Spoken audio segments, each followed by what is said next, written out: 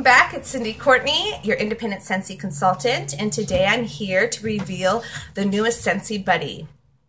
I have two previous buddies here. Both of them are no longer available, but they wanted to come and meet the newest buddy. They kind of go with the theme of the newest buddies, if you haven't already seen who it is.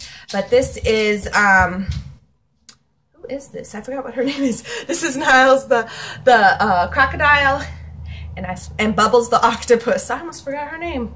Oh my goodness. All right, so they're here to say hello to our newest buddy who is Stevie the shark. So here is his packaging. It's a cute little box that you can store him in if you don't want him out all year long or if you're cleaning like to clean up and keep them in their boxes. He also has a handle that you can punch out so your kids can take him wherever they go. All right, and the top has bubbles and octopus and shells and sharks on it. And then inside is Stevie. He is so cute. He's so cute. And he's pretty big. Look, compared to my arm, he's a pretty big shark here.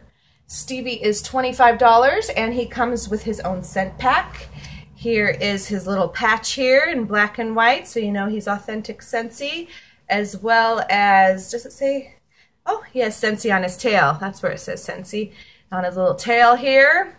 And then he's got um, a white belly that is a different texture than the rest of him. It's kind of corduroy almost.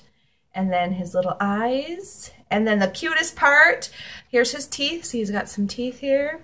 And then here is where the scent pack goes. So when you open up the zipper, he's got, oh, I just think I closed the zipper.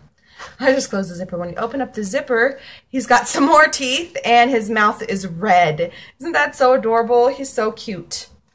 I opened him up earlier in front of all my kids and they all want one. My son says he wants one for his birthday.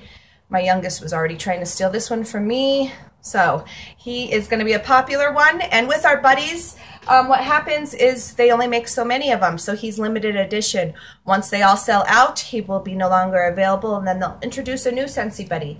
So if you love Stevie or you know someone who would, you want to make sure you contact me or head over to my website right away so that you can make sure you get him. He's super cute, great cuddle buddy, and perfect gift. And it's Shark Week right now. Did you know that? So it's a perfect time that he came during Shark Week. So the scent pack that I got for Stevie because he does come with a scent pack of your choice and there's a, ton of different scents to choose from as I, I chose beach for him. So this little scent pack is going to go in his little mouth there.